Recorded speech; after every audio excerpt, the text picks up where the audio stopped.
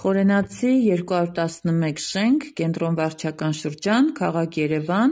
22 մայիսի 2023 թվական,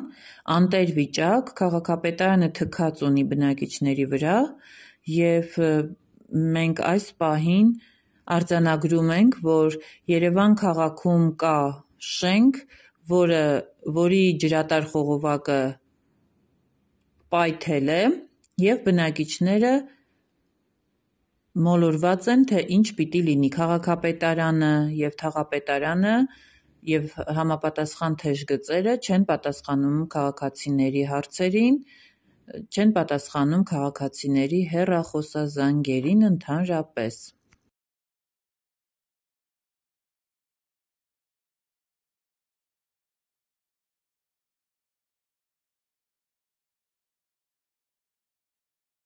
Սա այսօր կատարած իմ 6-րդ զանգն է: Փաստենք, որ Երևանի քաղաքապետարանը, Ավինյանական թիմը լծված է քարոզարշավին, որպեսզի ապահովեն հետագա հինգ տարիներին իրենց պարգևավճարները եւ բարձր աշխատավարձերը, սակայն ինչպես որ երևանցիների որեւէ խնդրի չեն անդրադառնում, այնպես էլ չեն արձագանքում երևանցիների թեժ գծի հեռախոսազանգերին: Գրեթե հինգ րոպե պահեցի եւ ի վերջո չկարողացա կապվել համապատասխան պատասխանատուի հետ։ Ձեզ կպատասխանի առաջին զգազան օպերատորը։ Ձեզ զանգը կարևոր է մեզ համար։